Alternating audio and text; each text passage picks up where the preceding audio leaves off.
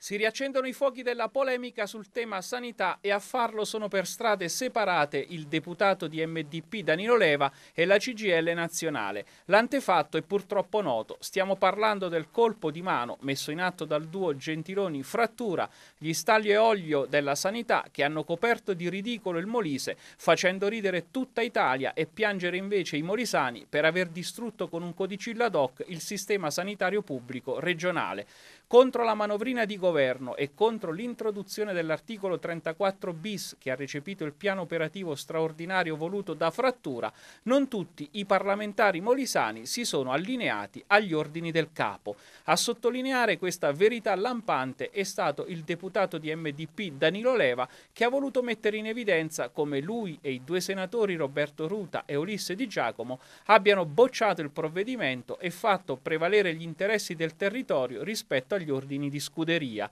Letto al contrario, il messaggio di leva punta il dito contro la parlamentare del PD, Laura Venittelli, la quarta della delegazione parlamentare molisana, che invece ha votato il provvedimento. Una votazione docile espressa da un teatrino schifoso, come ha evidenziato in una nota al vetriolo la Fondazione Milani di Termoli, che invita i cittadini a non dimenticare i nomi dei parlamentari molisani che hanno votato in maniera favorevole al colpo di mano.